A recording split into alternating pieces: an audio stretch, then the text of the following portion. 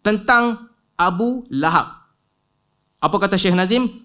Bila Syekh Nazim bercerita tentang orang lah, tentang diampunkan Allah mungkin tak maafkan orang Allah mungkin tak masukkan orang dalam azab katanya what about the man in Quran Abu Lahab and his wife? Pengikut dia pun terkejut eh betul ke Allah boleh ampunkan semua? Sedangkan yang kita faham ni ada orang diazab dan sebagainya. What about the man in Quran Abu Lahab and his wife? Dia bertanya dekat dia Abu Lahab dengan bini dia macam mana? Sama juga ke as one of our brothers. The verse was sent only as warning. Kata Syekh Nazim itu sekadar warning reply Maulana so that people will not do like Abu Lahab. Allah Almighty will show each servant what he has done with his life on the judgment day but he is free to give mercy as he likes. Guys Al-Quran kata apa? Inna Allah Allah la yaghfiru an yushraka bihi wa yaghfiru ma duna dhalika liman yasha Syekh Nazim kata apa Allah nak ampunkan Allah ampunkan Abu Lahab pun Allah, Allah ampunkan Ayat Abu Lahab tu sekadar warning sahaja. Kalau Allah nak ampunkan, Allah ampunkan juga. This is not Asy'ariyah, okay? Asy'ariyah ada sebut ulama Asy'ariyah ada bahas tentang tentang uh, jawaz aklan uh, perkara-perkara yang di sudut akal boleh berlaku, mungkin. Mungkin aklan tapi syarak tak berlaku. Tapi Syekh Nazim ni dia kata apa? Ideologi ni di sini di sudut syarak sekalipun there is a possibility yang Allah boleh ampunkan Abu Lahab. Bukan tentang akal. There is a possibility. Ini bercanggah dengan Quran. Kalau Abu Lahab, kita tak yakin Khalid finnar kekal dalam neraka, siapa yang akan kekal dalam neraka? Apa ideologi ni? Kalau tidak dikatakan ini bercanggah dengan Ahli Sunnah wal Jamaah dan Islam, apa ideologi ni? Abu Lahab sekalipun, ayat Quran tu warning sahaja. Allah is free to give his mercy as he likes. Tak. Allah janji dalam Al-Quran. Bukan semua orang dapat mercy Allah.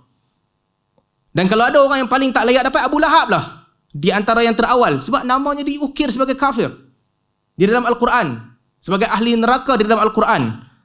Jadi ini masalah dia kalau gabungkan semua ini memberi gambaran yang tak betul tentang kedudukan orang kafir di sisi Nazim Haqqani. Kegagalan untuk faham beza antara jawas akli dengan jawas syar'i dan juga jawas adi. Ada perkara yang mustahil aklan. Jadi mustahil aklan itu sepakat dia tak boleh benda itu tak akan berlaku. Misalnya, ada orang yang tak faham bila ditanya pada dia, Allah Maha berkuasa, ya. Allah Maha berkehendak, ya. Habis kalau Allah berkehendak dan um, untuk melahirkan anak, adakah Allah berkuasa melahirkan anak? Saya pernah dengar, saya harap tak betul. Ada ustaz jawab, ya. Pasal Allah Maha berkuasa. Pasal Allah Maha berkehendak. Maka kalau Allah nak melahirkan anak, boleh. Ini kan kufur. Dan mustahil, aklan. Kerana apa? Anak bagi Allah adalah Tuhan. Tuhan lebih pada satu, akal pun kata mustahil. Lau kana fihi ma alihatun illa Allahu la fasadata. La fasadata ai akli. Kerana Tuhan tak banyak. Lau. Lau tu adalah ikmalul akli saja. Berbeza dengan mustahil adat. Mustahil adat ini makna secara adat tak berlaku. Satu orang perempuan tak kahwin. Tahu-tahu dapat baby dia kata, eh, Siti Maryam pun dapat baby tak ada anak. Ha, itu mustahil adat. Walaupun akal kata harus. Tapi dari syarak ada pertimbangannya nak nak mengisbatkan nasab dan sebagainya ada pertimbangan. Jadi kalau kita ambil contoh misalnya mengatakan uh, pluralism sebab Syekh Nazim uh, tentang tabat tiada abi lahab bin watab dia dia kata uh, memang dari segi harus harus maknanya dari segi akal harus saja Allah me, memaafkan mengampunkan uh, Eh, apa Abu Lahab. Ini dalam kitab-kitab Ahli Sunnah Jamaah ada di situ diterangkan adakah harus Allah mengazab orang yang taat dan memasukkan dalam syurga orang yang maksiat? Lalu diterangkan aklan jaiz. Tapi kita tidak akan sampai mengatakan demikian kerana apa? Kerana syar'an mamnu. Kerana ada dalil syarak yang menunjukkan sebaliknya. Demikianlah uh, apabila Syekh Nazim mengatakan ini hanya warning, maknanya ini sebagai warning kepada orang lain, jangan bersikap sebagaimana sikap Abu Lahab. Abu Lahab dah confirm dengan nas Al-Quran, tabat siada Abi Lahab bin Watab, pasti akan berlaku. Akan tetapi, orang lain walaupun masih dalam domain jawas, uh, dia buat dosa banyak pun, ya harus. Orang yang mati dalam keadaan pegang botol arak pun, aklan, ya harus Allah maafkan. Itu kan akidah ahli sunnah jamaah. Allah boleh memaafkan.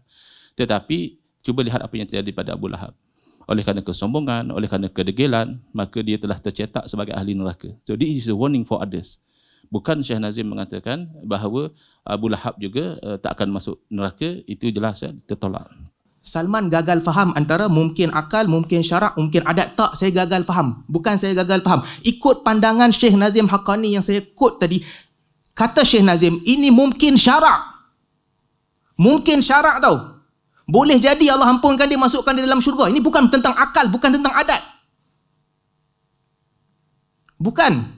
Satu perkara yang Al-Quran sebut jelas. Tapi konteks yang disampaikan oleh Syekh Nazim adalah mungkin kalau Allah nak ampunkan dia, Allah ampunkan dia. Artinya mungkin itu akan terjadi.